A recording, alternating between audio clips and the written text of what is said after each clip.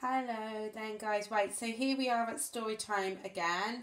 So Miss Jackson reading the story again today to you. And remember this week we've been picking some of our favourite stories from the year.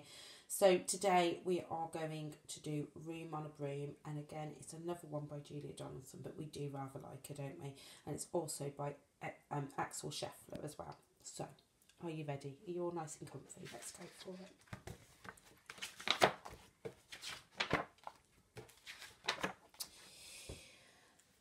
The had a cat and a very tall hat, and long ginger hair that she wore in a plait. How the cat purred, and how the witch grinned, as they sat on her broomstick and flew through the wind. But how the witch wailed, and how the cat spat, when the wind blew so wildly it blew off her hat. Down! cried the witch, and they flew to the ground. They searched for the hat, but no hat could be found. Then out of the bushes, on thundering paws, there bounded dog with a hat in his jaws. He dropped it politely, then eagerly said, as the witch pulled the hat firmly down on her head, I am a dog, as keen as can be. Is there room on the broom for a dog like me? Yes, cried the witch, and the dog clambered on. The witch tapped the broomstick, and whoosh, they were gone. Over the fields and forests they flew. The dog wagged his tail, and the stormy wind blew. The witch laughed aloud and held on to her hat, away blew the bow in her long ginger plait. Down! cried the witch, and they flew to the ground. They searched for the bow, but no bow could be found. Then out of a tree, with an ear-splitting shriek, there flapped a green bird with a bow in her beak. She dropped it politely and bent her head low, then said, as the witch tied her plait in a bow, I am a bird, as green as can be. Is there room on the broom for a bird like me? Yes, cried the witch, and the bird fluttered on. The witch tapped the broomstick, and whoosh, they were gone. Over the reeds and rivers they flew, the birds shrieked with glee, and the stormy wind blew. They shot through the sky to the back of beyond. The witch clutched her bow, but let go of her wand. Down! Cried the witch, and they flew to the ground. They searched for the wand, but no wand could be found. Then all of a sudden, from out of a pond, leapt a dripping wet frog with a dripping wet wand. He dropped it politely, then said with a croak, as the witch dried the wand on a fold of her cloak, I am a frog, as clean as can be. Is there room on the broom for a frog like me? Yes, cried the witch, so the frog bounded on. The witch tapped the broomstick, and whoosh, they were gone. Over the moors and mountains they flew, the frog jumped for joy and the broom snapped in two. Down fell the cat and the dog and the frog. Down they went tumbling into a bog.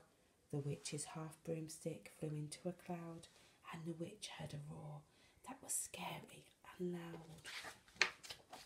I am a dragon as mean as can be, and I'm planning to have witch and chips for my tea. No, cried the witch, flying higher and higher. The dragon flew after her, breathing out fire. Help! cried the witch, flying down to the ground. She looked all around, but no help could be found. The dragon drew nearer and, licking his lips, said, Maybe this once I'll have witch without chips. But just as he began, just as he planned to begin on his feast, from out of a ditch rose a horrible beast. It was tall, dark, and sticky. It was feathered and furred. It had four frightful heads. It had wings like a bird. And its terrible voice, when it started to speak, was a yowl and a growl and a croak and a shriek. It dripped and it squelched as it strode from the ditch, and it said to the dragon, Buzz off, that's my witch. Drew back and started to shake. Oh, oh I'm sorry, he sputtered. I m- made a mistake. It's n- n- nice to have met you, but, but, but, but, but now I must fly. And he spread out his wings and was off through the sky. Then down flew the bird, and down jumped the frog. Down climbed the cat, and for you, said the dog. And thank you, oh, thank you, the grateful witch cried. Without you, I'd be in that dragon's inside.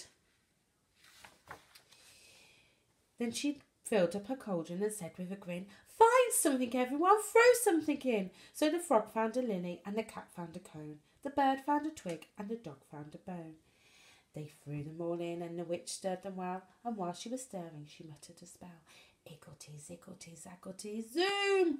Then out rose a truly magnificent broom with seats for the witch and the cat and the dog, a nest for the bird and a shower for the frog. Yes, cried the witch, and they all clambered on. The witch tapped the broomstick and whoosh! They were gone. The